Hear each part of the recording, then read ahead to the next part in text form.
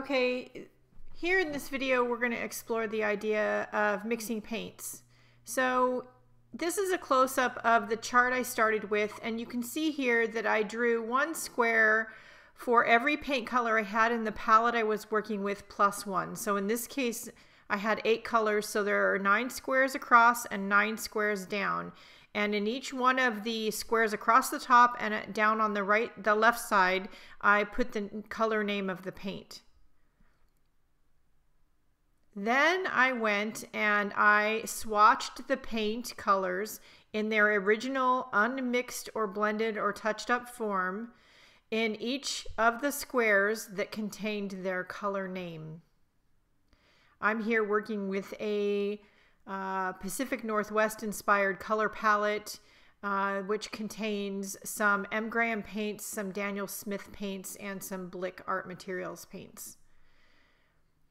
That being said, it's a non-traditional color palette, as you can see. Uh, there is no bright yellow. There's no, you know, super bright red. It's very much non-traditional. So I wanted to see what colors I could get by mixing them with each other. Um, so this is a good color mixing practice if you're unfamiliar with the process. The idea behind it is to mix each color with each other color. So in this case, I had eight colors. That top corner square, I put an X in because that one stays empty and then you start from the left to the right across the top and you swatch each color across. And then on the right the left side you start from the top down and swatch the colors in the same order that you did across the top. Then in each one of the squares you go up to the top and across to the left and see which two colors are represented, mix them together in approximately 50-50 quantity, and then swatch them. So here I'm working with the buff color, which is on the left, and I'm going across and I'm mixing it with each one of the other colors. There will always be one square in each row that's the pure color in this kind of a color chart.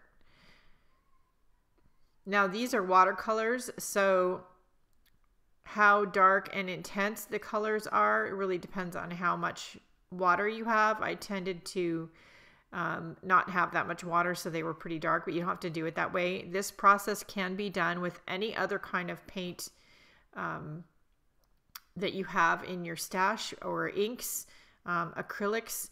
It's really interesting to do it with these non-traditional colors uh, like are in this palette or maybe your favorite colors uh, for instance, for me, in some of my acrylic painting are, say, lime green, turquoise, pink, and uh, Naples yellow.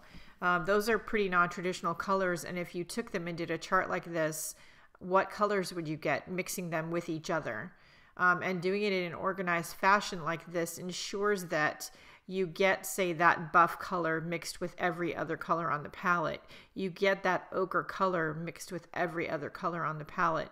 Sometimes the changes are subtle if the if one of the pigments is stronger than the other, like with some of these the colors in this particular palette. Um, but sometimes you get striking, surprising differences that you just didn't anticipate. Um, so it's good color mixing practice. It's good uh, to have a chart when you're working with a palette and you're unfamiliar with oh, how, how am I going to get that flesh tone or something that's close to it.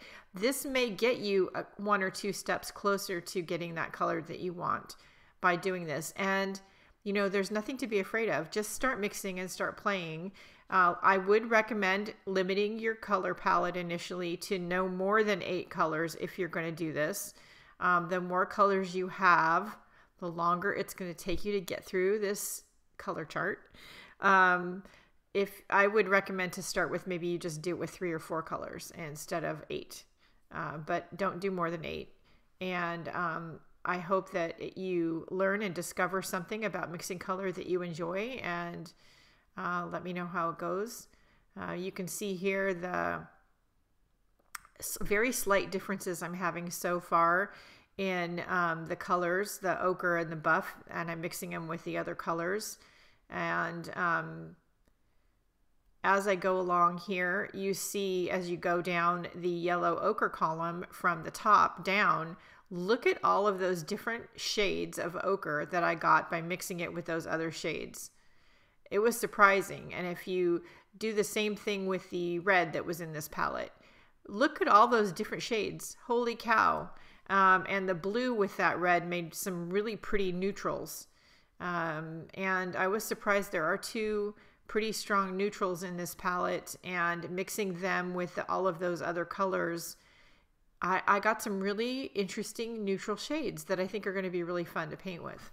So I hope this gives you some ideas. Uh, I was, I know, very surprised by the results, even though I've done this before, but then I'm always surprised by the results. So I hope you enjoy it. I hope you learned something and you get something interesting out of it. Um, don't forget to like, share, and subscribe. Support the free content here on YouTube if you could by clicking on my Linktree link and um, going over to my Etsy shop or my Amazon store, buying my book, joining Patreon, something like that. You can also follow me on social media um, by clicking on the Linktree link because my social media links are there. Uh, at the time of the airing of this video, I believe that my Teespring store um, to buy merch will be available here through YouTube. I don't know exactly how that's going to work, but I guess we'll all find out together. There should be a link somewhere. And um, yeah, don't forget to hit the little bell icon if you want notifications of when new video videos come out. And the most important thing, of course, is to go out, have some fun, do some playing, swatch your paints, and do something nice for yourself because you deserve it. And I'll see you later. Bye, guys.